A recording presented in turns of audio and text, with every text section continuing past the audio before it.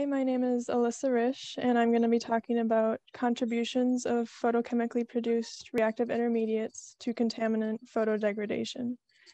So as my colleague Kaylee mentioned earlier, we are in a joint product project with the University of Wisconsin-Madison um, in this overarching project goal of linking dissolved organic matter composition to contaminant photodegradation. So Kaylee talked about how contaminant photodegradation varies by the sample site that where we got the water samples because the dissolved organic matter varies by the sample site. And I'll be talking about how the PPRIs resulting from that DOM in the boxes in this diagram here contribute to the contaminants photodegradation.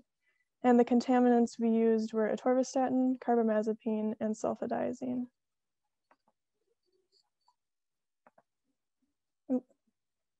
So in order to figure out which PPRI contributes to the contaminants photodegradation, we performed quenching experiments.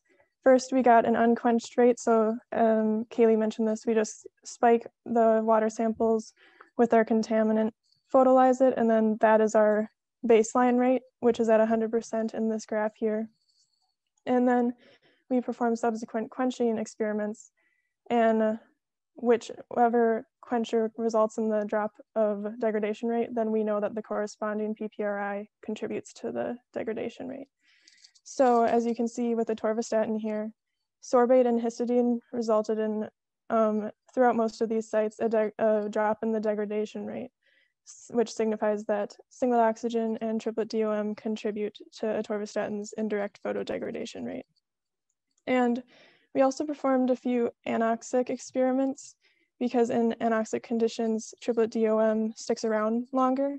And so since we see an increase in the degradation rate um, within those anoxic conditions, then we know that's just confirming that triplet DOM does contribute to a atorvastatin degradation rate. And then here is our other two contaminants, sulfadiazine and carbamazepine. And again, we see that sorbate and DABCO cause a drop in the degradation rates. So we know that triplet DOM and singlet oxygen contribute to the degradation rates.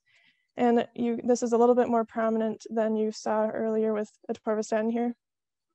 Um, and also we see with that one anoxic experiment with carbamazepine that the rate increased by 8,000% around there, which is a much um, a much bigger increase than with sulfadiazine or atorvastatin.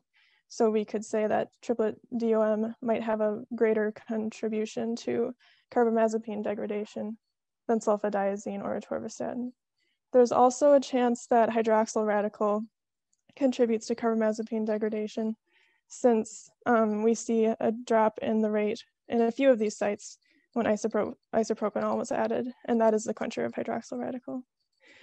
So in conclusion, um, the degradation of contaminants varies by site, as my colleague Kaylee said, and different PPRIs contribute to those contaminants degradation. Thank you.